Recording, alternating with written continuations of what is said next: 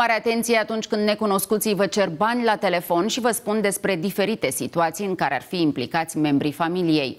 Un deținut a înșelat în acest mod mai mulți bătrâni, deși era în pușcărie, a pus mâna pe banii și bijuteriile lor. Cu detalii vine colega mea Elvira Costache. Bună dimineața, Elvira, te ascultăm.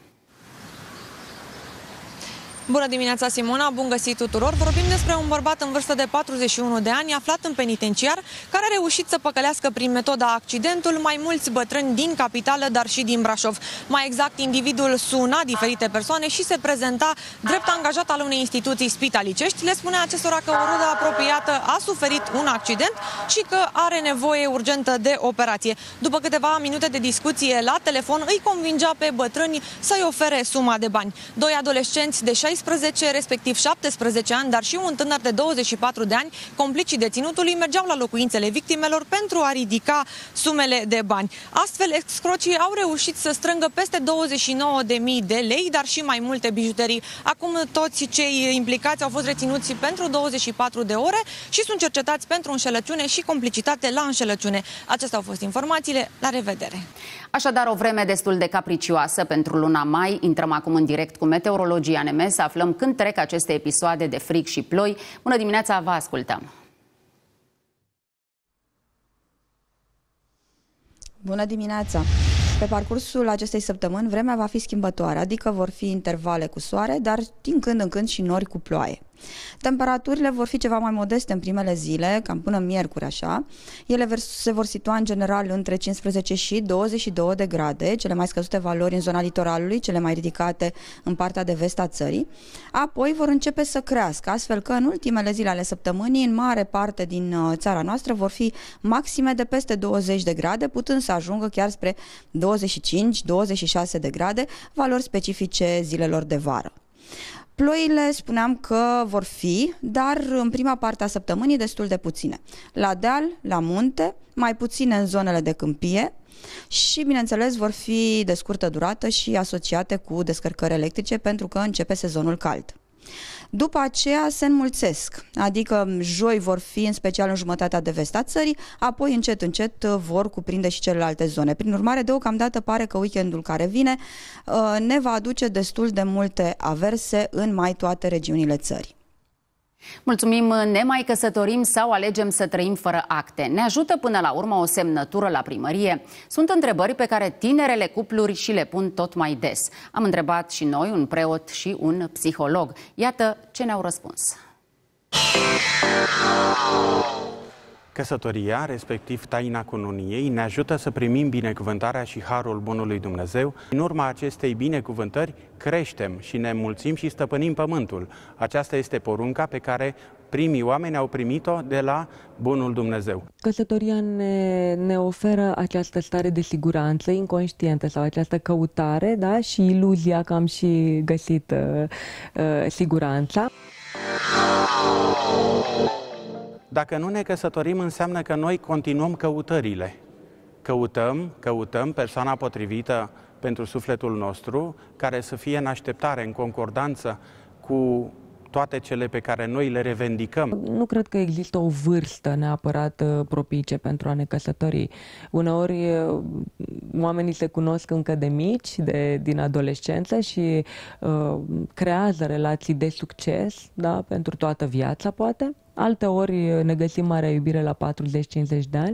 Este, repet, uh, o chestiune strict de, de maturizare.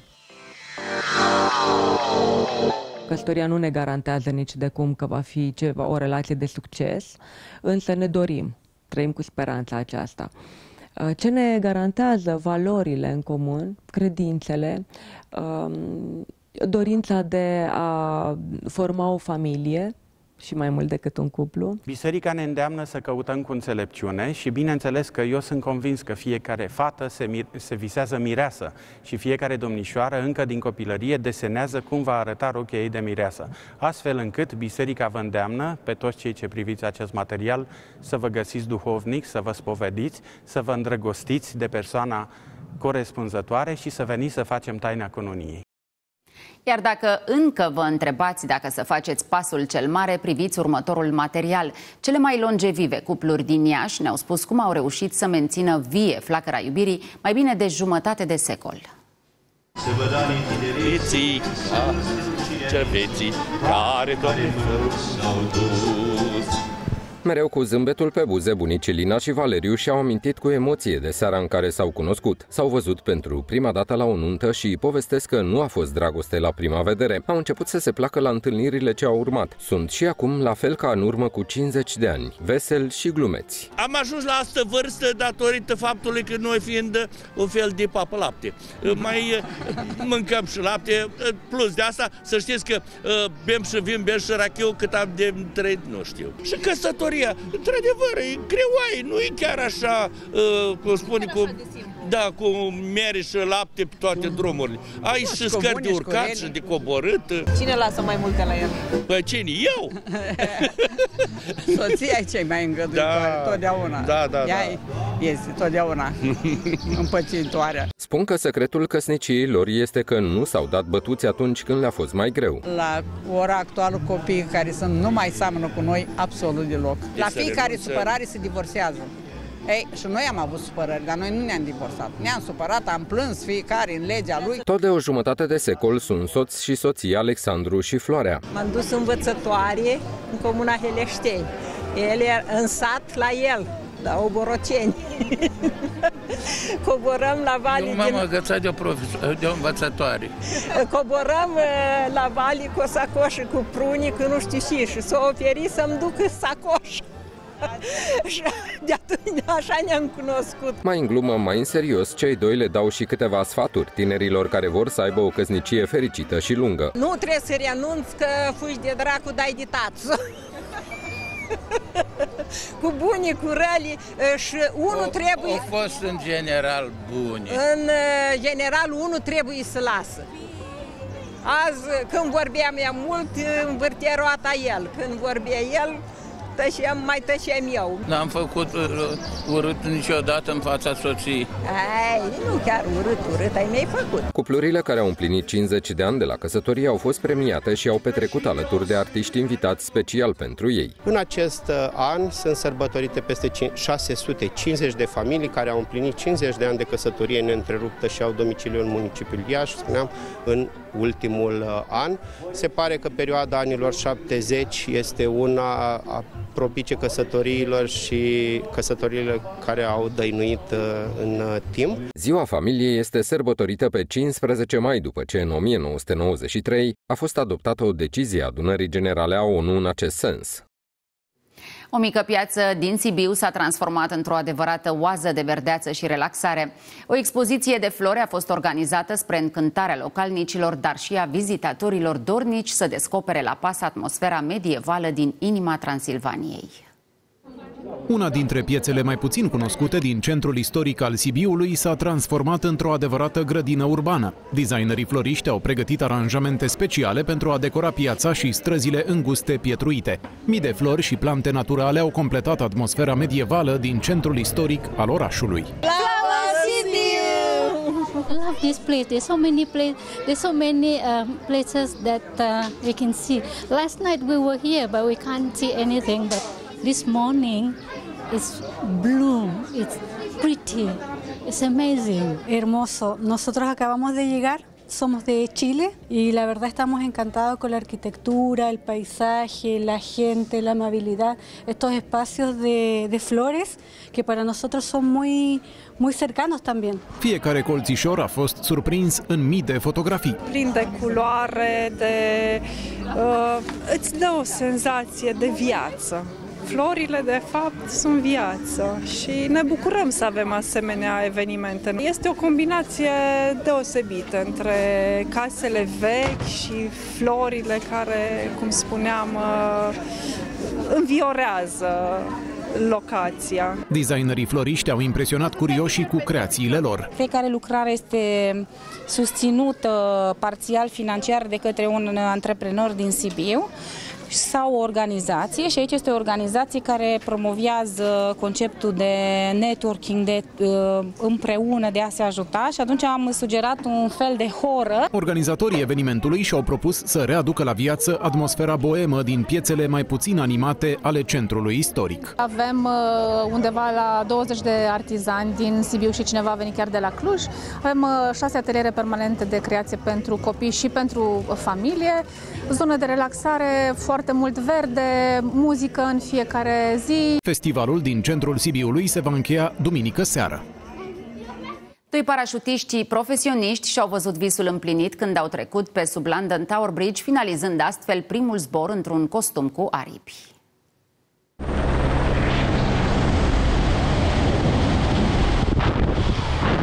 Ei sunt Marco Fürst, în vârstă de 33 de ani, și Marco Waltensnippel, de 39 de ani, doi austrieci care au finalizat primul zbor cu wingsuit deasupra Londrei. I'm feeling good. I'm feeling really good. It was uh, quite intense, I would say, but uh, yeah, we were well prepared and uh, I'm pretty happy now. Parașutiștii au trecut pe sub London Tower Bridge echipați cu un costum special cu aripi ce le-a permis să prindă o viteză de 246 de km la oră înainte să aterizeze pe sol folosind o parașută. Everything worked out really good from the beginning to the end. We had, we had the best training, the best preparation. We did around 200 training jumps just for this project. So we were well prepared. Pentru a finaliza această provocare, celor doi le-au trebuit peste 200 de sărituri între două macarale care simulau dimensiunile celebrului pod al Londrei. Imediat după pauză vedem ce metodă au găsit oamenii să păcălească sistemul garanție-returnare. Ei primesc 50 de bani și pe sticlele fără simbol de reciclare. Apoi aflăm poveștile de succes ale bătrânilor care fac TikTok. Cum este să cunoști celebritatea la vârsta a treia, ne spun chiar ei. Iar mai târziu vă arătăm imagini cu cei mai frumoși și inteligenți câini din România care s-au întrecut în coafuri și trucuri. Rămâneți cu noi, revenim în doar câteva clipe.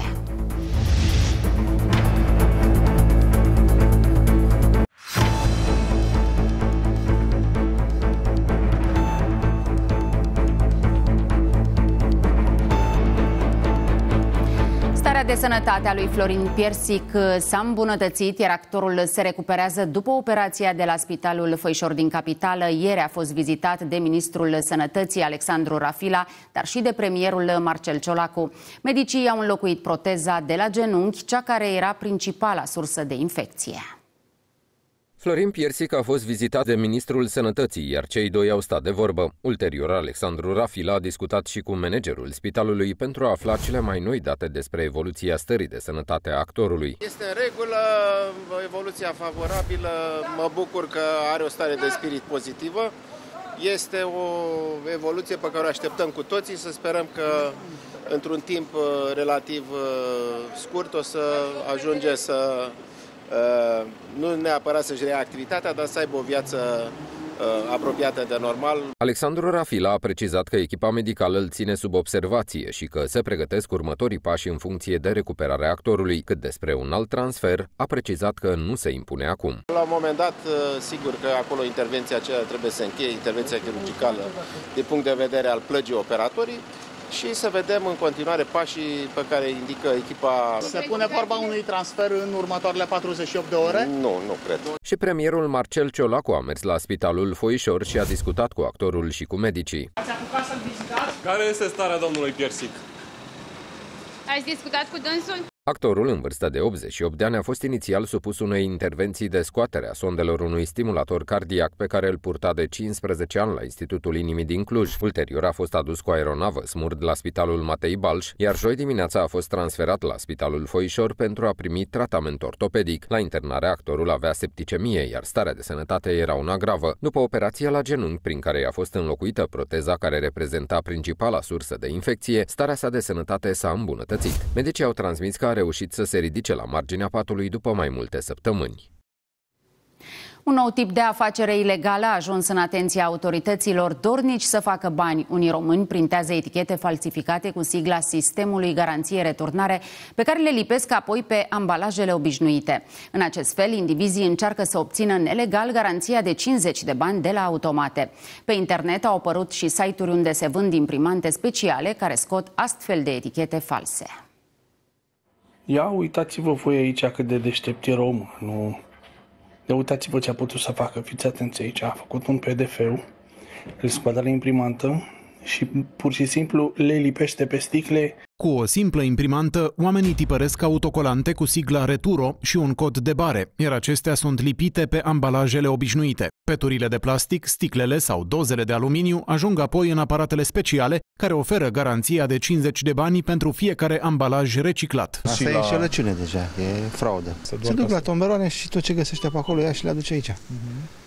Și ce nu e valabil, schimbă etichetele. Românul e foarte inventiv și nu e ceva normal. Printarea unei foi A4, care ar conține 49 de etichete cu sigla Returo, ar putea costa în jur de 80 de bani. Odată lipite autocolantele pe ambalaje, de pe urma lor se pot obține 24 de lei și 50 de bani. Polițiștii spun că cei care lipesc etichete false pe ambalaje pot fi acuzați de înșelăciune. De cealaltă parte, reprezentanții Returo au transmis că numărul cazurilor de fraudare este foarte mic în țara noastră. Experiența altor țări care au implementat înaintea noastră SGR ne-a arătat că frauda este inerentă, astfel că am putut să ne pregătim și să operaționalizăm un departament antifraudă în cadrul Returro, care face verificări ale tuturor situațiilor semnalate. Reprezentanții Returo mai spun că în acest moment peste 80% dintre ambalajele plasate pe piață sunt purtătoare de garanție, iar numărul lor va crește în următoarele săptămâni. Odată ridicat procentul ambalajelor incluse în sistem, autoritățile speră că fenomenul de fraudare va dispărea. O elevă din Iași demonstrează că atunci când pasiunea este suficient de puternică, până la performanță mai este doar un pas. Alexandra s-a clasat pe primul loc la Olimpiada de Spaniolă, fără să studieze limba la școală și fără să fi, să fi vizitat vreodată această țară. ¿Qué has visto? ¿Qué te ha parecido sí, más complicado? Un poco complicado los problemas de gramática, pero creo que va a estar bien. Alexandra este elevă în clasa 11 la Colegiul Național Mihai Eminescu din Iași. La școală studiază engleza, însă o pasionează cultura spaniolă. Am început să studiez singură limba spaniolă în clasa 8 când mi-am dat pur și simplu seama că îmi place și că vreau să învăț. Nu am găsit la momentul respectiv un curs în Iași pe care să-l fac. M-am înscris la un curs de cultură și civilizație la Palatul Copiilor și am continuat să învăț singură. Chiar dacă urmărea filme, podcasturi și învăța din cărți, Alexandra își dorea să poată purta conversații în limba spaniolă, iar în urmă cu un an a întâlnit-o pe Maria Alvarez Gutierrez, profesor la Institutul Cervantes. Am făcut prima sedință cu ea, am fost foarte surprinsă de nivel de nivelul ei dar nu știam că vrea să participe la, la Olimpiada. Alexandra a participat la Olimpiada Națională de Spaniolă și a avut un rezultat impresionant. Voiam un punctaj bun, nu mă așteptam să fiu chiar prima, cum am spus, mă așteptam la un rezultat bun, însă nu chiar prima să fiu, de asta am fost și eu uimită. A avut de susținut trei probe, una scrisă și două probe orale, una pentru testarea nivelului de înțelegere a limbii și de conversație. La final a reușit să obțină peste 90 de puncte, cel mai bun rezultat. Alături i-a fost mereu prietena ei, Maria, care povestește că pasiunea Alexandrei pentru cultura spaniolă este molipsitoare. A început să-mi placă muzica spaniolă, latino, de când am cunoscut-o. Așa îmi plăcea și mie țara, limba, dar da, de când am cunoscut-o pe ea, chiar muzica mă atrage acum. Rezultatul Alexandrei a fost o surpriză și pentru diriginta ei. Cu siguranță este rar, pentru că una este să faci 4, 5 ore, 6 ore, 3 ore, da? Uh, în fiecare săptămână la școală, uh, să faci suplimentar în afară de aceste ore, da, cu profesorul care te coordonează, cu siguranță este rar. Luna viitoare, Alexandra își va îndeplini cel mai mare vis. Va vizita pentru prima dată Spania. Dorința îi va fi îndeplinită de un fost elev al liceului la care studiază adolescenta.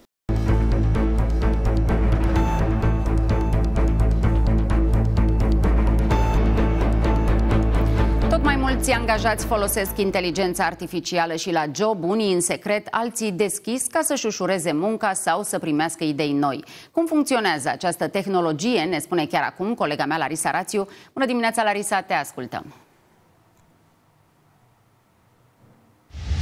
Bună dimineața, Simona! Bun găsit tuturor! Știm cu toții deja că inteligența artificială poate face treaba în locul nostru, iar acest lucru nu este complicat deloc. O să facem un exercițiu chiar acum. Să presupunem că trebuie să scriem un discurs pe tema mediului, discurs pe care nu avem inspirația să-l facem singuri. Tot ce trebuie să facem este să intrăm pe această platformă, să scriem aici ce avem nevoie și iată că avem deja tot discursul gata pregătit. Și asta nu este tot. Să presupunem că tot la locul de muncă avem de rezolvat un calcul matematic, ceva ceva mai uh, dificil. La fel, tot ce trebuie să facem este să îl scriem aici, iar apoi cu un singur click o să primim întreaga rezolvare, inclusiv cu tot cu explicații. O să vă arăt chiar acum. Cam atât de simplu se poate folosi inteligența artificială și să știți că și șefii sunt din ce în ce mai deschiși cu privire la această tehnologie. Cifrele arată că 71% dintre directori sunt dispuși să angajeze personal care nu are atât de multă experiență, dar care poate folosi inteligența artificială. Tot cifrele arată și faptul că angajările în acest domeniu au crescut în ultimii 8 ani cu numai puțin de 323%. Acestea au fost informațiile despre acest subiect. Simona, revin la tine. Mulțumim, Larisa. Produsele tradiționale românești sunt la mare căutare. La un astfel de târg organizat la Cluj-Napoca, oamenii stau la coadă pentru a cumpăra bunătăți naturale și sănătoase de la micii producători locali. Iar cei mai pofticioși se opresc la toate standurile și gustă din fiecare preparat în parte. Doamna Cristina își atrage clienții nu doar cu clopoțelul, dar și cu produsele inedite pe care le face în propria gospodărie din Arieșeni. La târgul din Cluj a adus o mulțime de bunătăți. Am coborât din munții Apuseni cu bunătăți din Cămara Moțului și avem uh, o gamă de 180 de produse, peste 180 de produse, de la dulcețuri, siropuri, zacuscă și avem și lucruri inedite, spun eu. Vreau să amintesc dulceața de lapte, care o avem în 10 variante.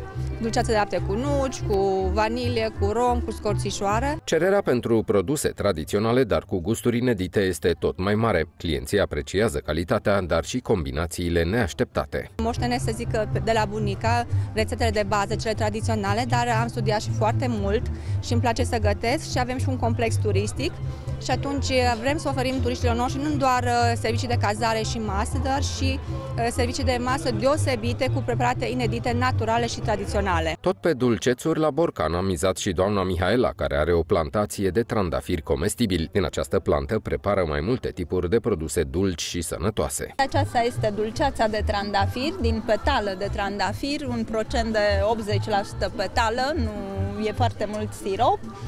Aici avem siropul de trandafir pe care îl putem combina cu apă să facem un uh, suc, îl putem uh, pune în cafea sau în ceai ca îndulcitor, îl putem pune în cocktailuri. La standul acestor producători din Dobrogea, clienții sunt ademeniți cu deserturi tradiționale, dar și cu un produs mai puțin întâlnit pe rafturile magazinelor. Am venit și cu ceva special dulce, Rahat natural făcut de noi, 100% natural, fără coloranți, conservanți.